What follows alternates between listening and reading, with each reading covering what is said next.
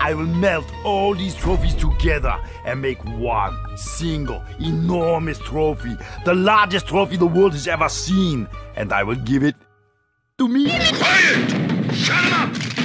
Before I knock you silly.